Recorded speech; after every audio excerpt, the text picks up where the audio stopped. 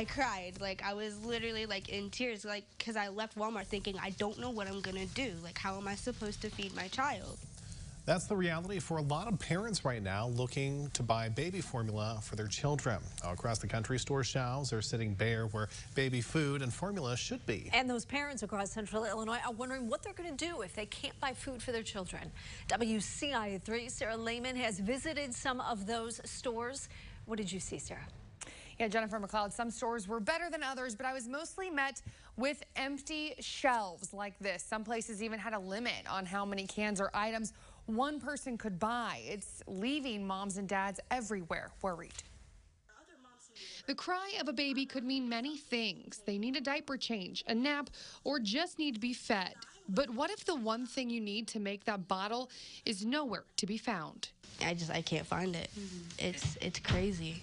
Families across the country, state, and central Illinois are facing shortages of baby formula. I had went into Walmart and like CVS and like Walgreens. I even went on Amazon and I could not find anything whatsoever. Like my son had like one or two, maybe two cans left, and I was like freaking out because how am I supposed to feed my kid? From one store to the next, and then from one city to the next, and even into Indiana, she struggled to find the specific formula her son needs, or she says any formula at all. Like it was just gone and I was like, what in the world? How does that happen? It happened after a major recall of three giant formula brands on top of supply chain issues.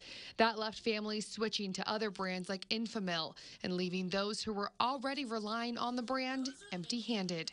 My son has a milk intolerance, and that's the only formula his stomach can digest and not have a belly ache or like spit up a lot, unfortunately.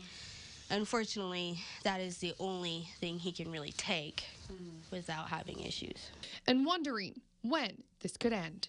When it's gone and if there's nothing back on the shelves, I, he, my baby's got nothing. Mm-hmm. And I just, I don't know what, to, what else to do. Now, Enfamil, the formula that she uses, has a message on its website that says they've increased production and are working closely with distribution channels to get products out quickly. The biggest piece of advice people like Baldwin and other families are getting is to contact their pediatricians. She says right now they're just working with what they have the best way they can. Back to you. All right, Sarah, thank you.